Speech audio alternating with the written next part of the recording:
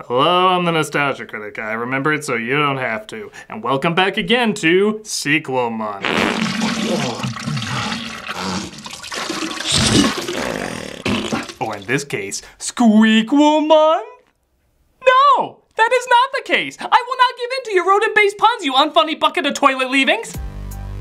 The Chipmunks are an interesting franchise, to say the least. That is to say, they've been around for years and nobody's really thought that much about them until their movies. The Chipmunk movies always pulled in a big amount every December when they were released. I guess people just saw them as an extra Christmas present. In the same way your cat giving you a dead mouse is technically an extra Christmas present. Though in this case I'd accept it people started to get pissed because these movies would keep popping up, obviously having little to no effort thrown in, and yet still make enough money that their shit obnoxious faces would show up all over the place. Well, you know what? I'm sick of it. I'm sick of entertainment clearly not trying and somehow getting tons of rewards for it. So you know what? I'm gonna do the same thing. I'm gonna figure out the magic formula in today's movie and see how to get the same results. Because if they don't have to try, I shouldn't have to try. Something of value is finally gonna come out of these damn movies. I will be rewarded for my suffering. My soul is prepared. How's yours? Let's take a look.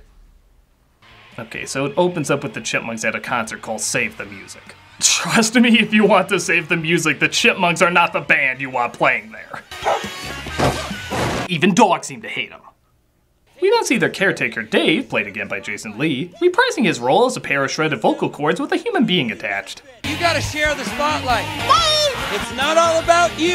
yeah, where would Alvin ever get that idea in a band called Alvin and the Chipmunks? You know, for the longest time, I didn't even know they were called Simon and Theodore. I thought they were called Antha and Chipmunks. But please, continue to keep him modest. I can't hear you over the thousands of fans screaming my name. This does make me realize, though, bringing back characters from a previous installment often equals success. Well, that's what I'm gonna do. I'm going to bring back characters from a previous review. Bring in the all girls! Aww. Come on in, ladies. If your awkward remembrance can help my fortune, all the better. you got it, critic. Setting adorable letters to irritating. Let's do this. So Dave is taken down by a clumsy cardboard cutout. Sounds like a metaphor for Lee's career to me. And he's left out of most of the movie. Okay, off you go. Wait, that's it? Yeah, apparently it's better to remind people you exist and then totally terminate you from the project. But we barely did anything. And that's what's gonna make us tons of money. Now off you go, off you go, out, out, out, get out, out, out, to the couch of underused cameos. Hey, weren't you in the Spy Kids 3D review? Doesn't count. I hear that. Dave tells them that they're gonna stay with their Aunt Jackie. It's just me and my ganja. No, not that one, though. Would explain why she's seeing chipmunks.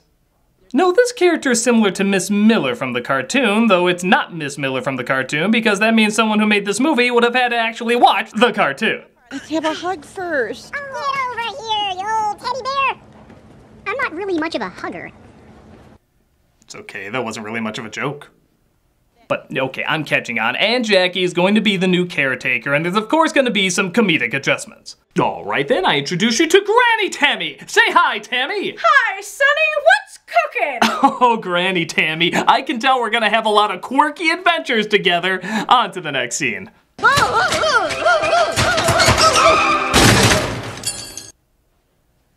Uh, okay. This is what the people want to see, apparently. Man, in literally five minutes, two of the caretakers who should have been major roles have been taken out. Oh, this way, everyone will be dead at the 25 minute mark. Two dead, 25 to go. Instead, we get our son Toby, played by Zachary Levi, who you may remember as Chuck or Flynn from Tangled, and here where he plays his biggest role as the poor man's Jimmy Fallon. I'm not gonna be like, I know everything and you do this and you do that. Like my dad. Okay, now I think I'm catching on. Bring in the dog girls! Wait a minute. Those are like the exact same characters. What? No, No, they're not. Yes, they are. They look like us, sound like us. They even have the exact same characteristics. Yeah, you can't even tell us apart. No, no, it's totally different. See, they have shirts of countries with no names on them. You know those obscure shirts you saw all over the place. Look, mine's US. mine's Canada. And mine's so obscure, it doesn't even have a country. It's an ironic statement. Of what? That we like irony? I'm so glad you see the brand new comedic possibilities of this. Now, you three, into the studio. Wait, what? Yeah, you're still barely in this. we have to go. we just barely, barely- Into the studio!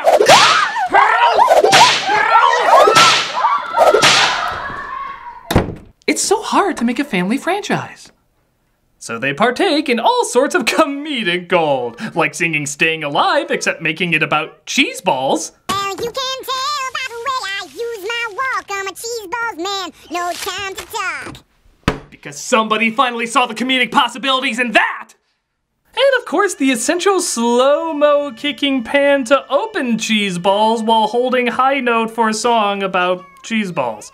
Oh, yeah, now that joke suddenly makes sense. You know, I'm not gonna lie, I expected more out of the director of Private Parts in the Brady Bunch movie, but I also suspected less out of the same director of Dr. Dolittle and John Tucker Must Die, so I guess it evens out. But fear not, literally 42 seconds later, they sing another pointless rendition of a musical hit. You spin me right around, baby, right around like a record, baby, right around, round, round. Mm-hmm, yeah, why don't you just sing what it really is, guys? You're a flimsy pretext for another rendition of a classic song gone wrong. Do you know what Dave would say if he were here right now? I think realistically he's probably shouting, Paycheck! Speaking of which, how you doing over there, all girls? That's a spirit. It also looks like Toby has a cat that he talked about earlier. And look, a few scenes later, there he is. Okay, a cuddly pet side character, always a big moneymaker. I give you Mr. Yama the Llama! Let the hijinks ensue! I treated you good. Hey, I don't follow it, I'm just doing what they're doing. But the film tries to punish you further by taking the one funny element from the last film, David Cross, and suck out anything that made him enjoyable. I lost everything, and it's all because of them. I will get you, chipmunks. Now again, I'm pretty sure that's an exact quote from him from Chipwrecked. But he's not the only one who gets chipped off in this movie. The Chipettes enter the film in their birthday suits. How do these flicks not have censor bars? Don't you know the 90s gave cartoon animals private parts? But what sucks most is they got some really funny voice talent behind them. Amy Poehler, Anna Faris, and Christina Applegate. These are all very funny people who are given very unfunny things to do. I am Brittany, and this is my sister Eleanor. And I'm their sister Jeanette. Although I feel more like an Olivia, or sometimes Anyway, we're the Chipettes. I haven't seen such a wasted Anna Faris performance since. Okay, a lot, but that Keanu cameo was pretty funny. What makes it even stranger is that they have almost the exact same voice as the Chipmunks. They're, I dare even say, the exact same character, just given the Tumblr treatment. Mr. Hawke? That voice, I can't get it out of my head. This trope, of course, goes back a long ways of incorporating a gender swap of a famous character, or characters. And apparently, it still equals gold. Well, they're not the only ones who can exploit that, Chester! Duh! Are you aware that there's three strange ladies with confusing shirts in there? Never mind all that. We are going to explore Doe's backstory. Ooh, that's exciting. Finally, the bum mythos will be reviewed. Oh, wait, wait, wait. Let me just see what they do with it in the movie. Tell me a little something about yourselves. We grew up in a small town, population 300. Fascinating. Great. It's impressed me. Yeah, okay, I guess we don't need to know your backstory. Oh. Come on, it's like how Baze and the blind guy know each other in Rogue One. They work together. That means we immediately know everything about them. I think that's more how they met each other rather than how they knew each other. Exact same thing. All we need now are some dance numbers. Go! Oh, um. Yeah, on second thought, the movie seems tired with that too. Now it's about Alvin the Chipmunks trying to blend into high school. So, um, go to school, I guess, while performing some musical sequences. I guess going to dance school could kill two birds with one stone. But be prepared to change your motivations on a whim. That's what makes the big bucks. Isn't that more how it makes the little rodents? That's good. Keep making bad jokes like that. That apparently makes a lot of money too. Okay, we got a lot more of those. Come on. So, just as Cross is amazed that two trios of talking chipmunks came to him to start a music career and both of them seem to look and act identical to each other. I mean, like, stars fucking align! That's pretty amazing! It's abandoned to see how Alvin and the gang are getting along in high school. Look what I can do. You are the adorable. Oh, that's right, I forgot this movie comes with a note. Every time certain lines from this film are uttered, an award winning playwright shoots himself. You might want to see how Lin Manuel Miranda is doing. But one of the jocks is jealous of their popularity. Girls, please. Private conference. We will, of course, obey because, I don't know, chicks? They, of course, don't get along, forcing the chipmunks to fight back. Little fatty. He tickles when I poke him. Apart from driving this movie's kill count to rival that of 2016, take a look at how they animate his face. Tickles when I poke him. Good God! It looks like the poster to the next film, Chip Seized! This gets him a trip to the principal's office. I should suspend all three of you. Please do.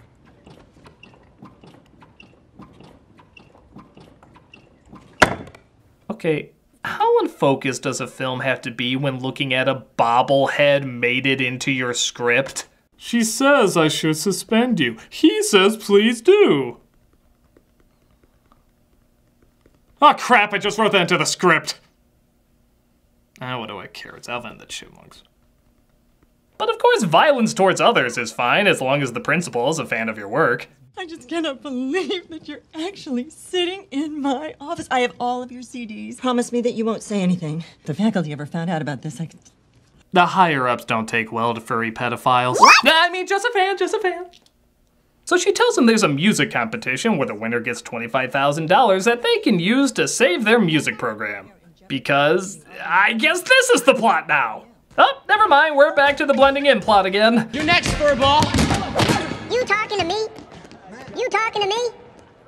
I'm the only one here, so you must be talking to me. Really? We left a pause for that joke. Oh, booyah! Dude's got hands. We can definitely use them on the team. Okay, I guess this is the plot now. It looks like Alvin is trying to be a sports star with. Okay, I guess we're back to this plot again. So the Chipettes are gonna compete against the Chipmunks. at- Dreamt we didn't have a family anymore. Oh wait, Theodore feels like the family falling apart. I guess this is the plot now. Oh look, Toby recognizes their teacher from when they were in high school and is in love. Really? We're throwing this in too. Okay, okay, I will play your goddamn game. Malcolm, Yo, the doll girls are suddenly in love with you. why are they in love with me? You met in school. Oh, now I know everything. All girls. What? You have to score the winning touchdown at a football game. Which one? Anyone! Chester, go! For Shinizu, I need you to hate each other while also preparing for a dance competition. What? True, it's going against what you originally were, but that doesn't matter when money's involved. Go! Baby, you! You are so pretty and smart! And you! You are the handsomest man in the world! Why did that insult? I usually say in the universe. Malcolm, you need to be angry now. Get revenge on somebody. Who? I don't care, anybody! Neil Patrick Harris. hey, we love Neil Patrick Harris!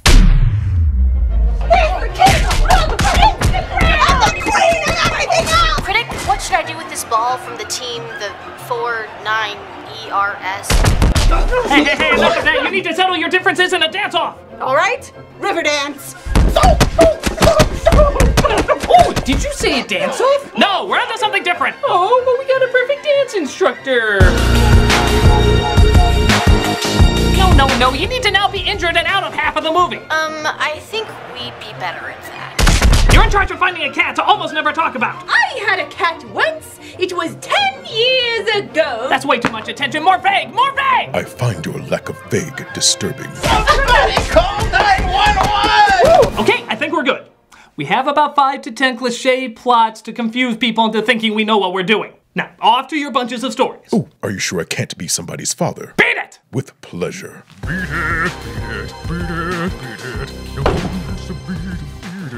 This had better be a big hit. It wouldn't be the first time I've obliterated these rodents.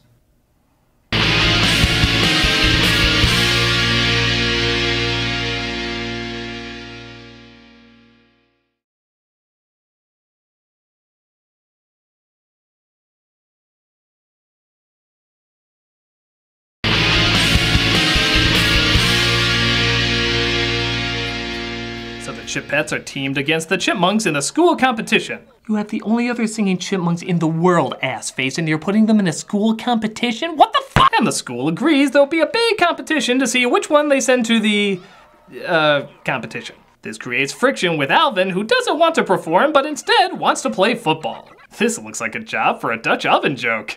Dutch oven!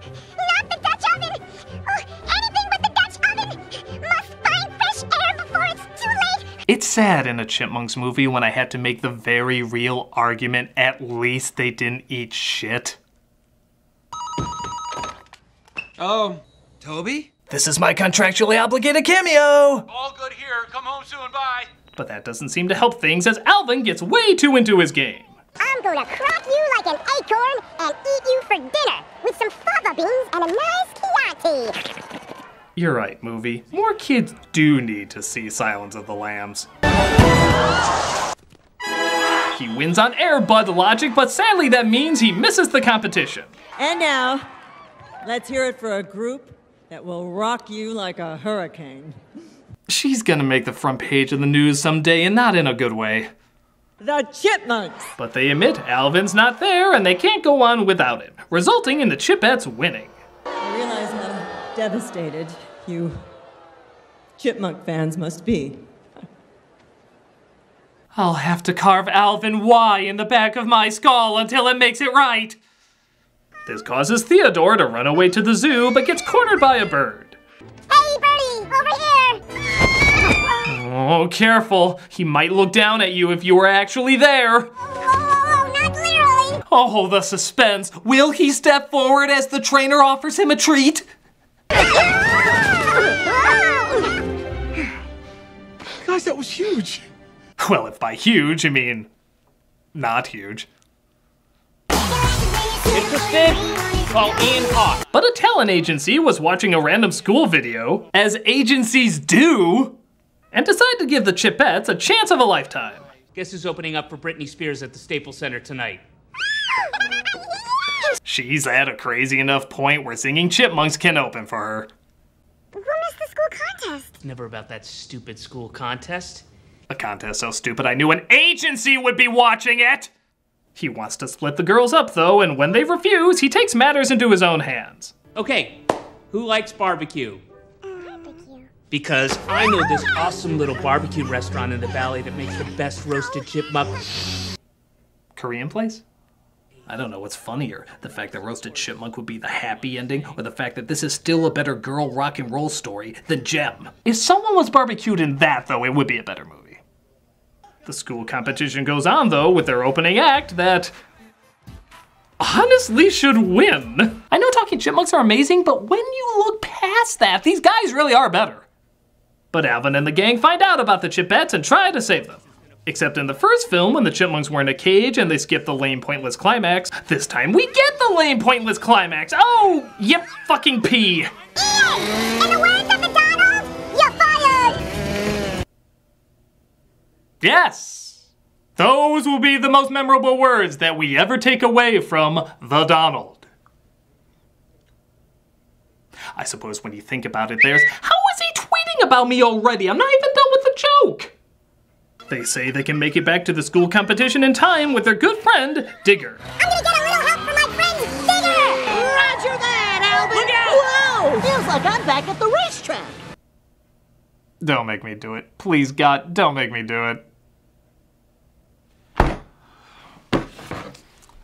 Who's Digger? Digger is a character from NASCAR when shown on the Fox network. How dare you make me look up NASCAR, you monsters! Cross chases him down with a toy helicopter, because a toy NASCAR would have been too obvious, as they tried to get the remote out of his hands. I'm going for it! Grab my ankle! Ah! I got it! I got it! Way to go, Jen! Nice work, Jeanette! Good going, Jen! Because of course! This was Jeanette's story the whole time! How friggin' obvious! Here, I thought maybe, just maybe, it was about The concert? The football game? Going to school? Parenting? Working together? Egos? Toby's girlfriend? Jealousy? Fitting in? Family values? Or trusting your heart? But no! It was about Jeanette conquering her fear of heights, which has never been brought up in the entire movie until right now.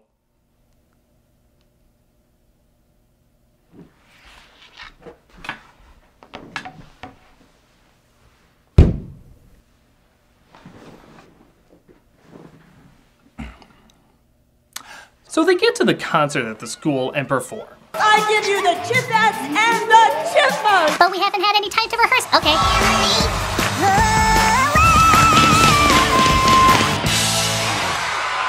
It's clear that we have a winner Uh, yeah, the judges haven't voted yet. of the $25,000 A lot of money to give away just on the fly. and it's West Eastman High. You know, the uh, first act was technically a lot better. Yeah, okay, the Chipmunks win. Creepy announcer, gladly give it to creepy principal. This seems very wrong. Meanwhile, at the stadium, despite the movie pretty much promising us Britney Spears, she never shows up in the film, and instead we get this. All the single ladies, all the single ladies, if you want to get married, have a ring, put your rings on it. Again, is this really that much different from how we've seen Britney before? I'm kind of shocked the audience could tell the difference. Okay, 2007.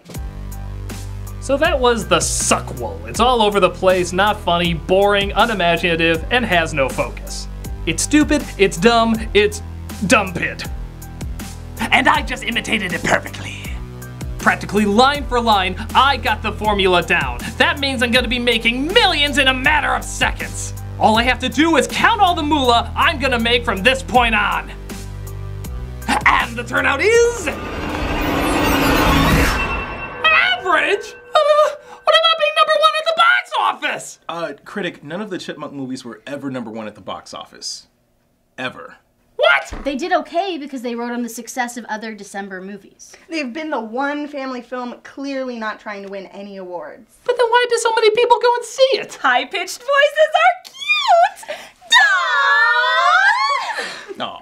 So by that logic, I can make a million just by. Quid pro quo. I tell you things, you tell me things. Yes or no, Clarice? Go ahead. You know, the movie was right. More kids do need to see this film. And now they will because you put it in the kids section on Netflix. The significance of the moth is change. Caterpillar into chrysalis or pupa. That'll be one of millions of angry parents. Your money's already mine, I don't care. I'm the nostalgia critic. I don't get it, I just exploit it. No, it's like Hannibal ate Fred. I smell a squeakquel. You use Evian skin cream, but not today.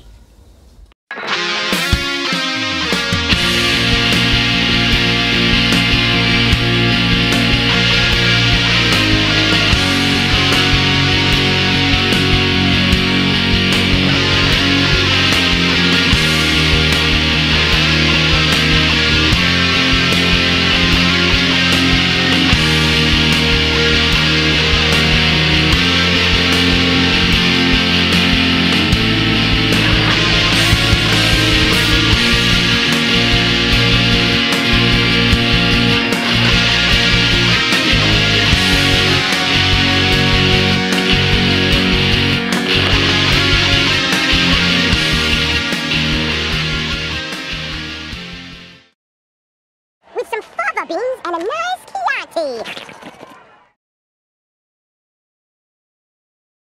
Hey, Doug Walker doing the charity shout out, and this week we are doing the American Red Cross.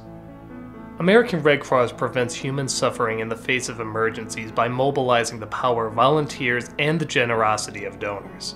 Through its strong network, they're always there in times of need. Aspiring to turn compassion into action, they work so that all people affected by disaster around the world receive care, shelter, and hope.